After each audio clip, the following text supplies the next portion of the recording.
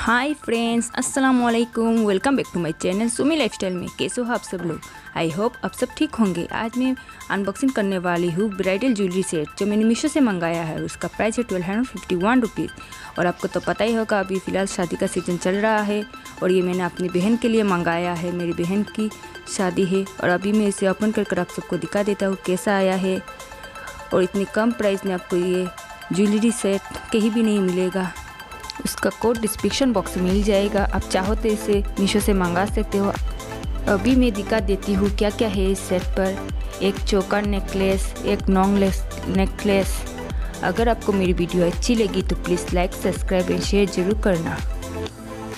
और एक मांग टीका है, नोज़ पिन। ये दोनों हाथों की रिंग दिया हुआ है, दो दो। झुमका।